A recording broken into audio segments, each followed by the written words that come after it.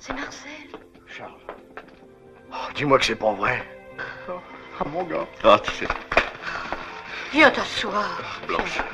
Oh. On t'a l'air secoué, grand. Ah bah. Hier soir à Lyon, on a fondé notre comité de résistance. 3000 pensionnaires montent déjà sur Paris pour le défilé de revendications. Dis, tu vois un peu? Le lendemain, dans tous les canards. Tu parles si je vois. Je vois même mon nom en gros caractère. Dis, tu trouves pas qu'on a assez d'emmerdements comme ça, non?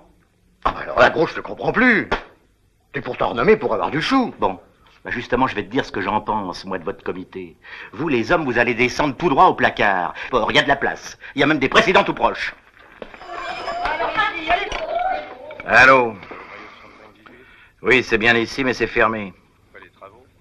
Mais non, c'est pas pour cause de transformation. C'est fermé.